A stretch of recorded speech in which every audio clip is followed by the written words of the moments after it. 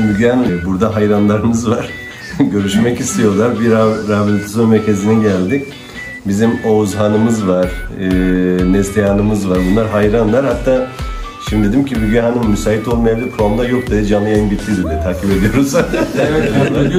Müsaadenizle sesinizi açıp bir sesinizi duymak istiyorlar. Uygun Evet. musunuz? Tamam açıyorum ben.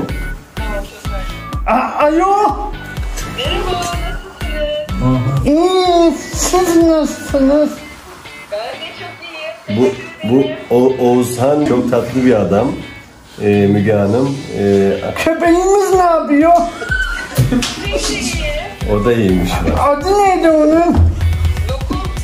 Ben biliyordum zaten. Biliyordum zaten. Evet. Tamam geleyim ben ya. Bir dakika. Tamam, hadi görüşürüz. Allah'a emanet ol. Çok teşekkür ediyorum. Çok sağ ol. Müge Hanım çok heyecanlandı. Müge Hanım çok teşekkür ederiz. Çok sağ olun. Evet burada 19 tane yavrumuz var. Onlarla beraber olduk. Ee, İsminizi zikrediniz. Dedim ki biz arayalım. Ee, müsaitse muhakkak. Kurma bekliyoruz. Kuruma bekliyoruz. Ve Müge ablalarını getireceğim inşallah. Bir bileceğe geleceğiz. Sizi bulacağız inşallah. Müge Hanım çok çok teşekkür ederim. Al, sağ olun. Allah'a emanet olun inşallah. Sağ olun. Görüşürüz.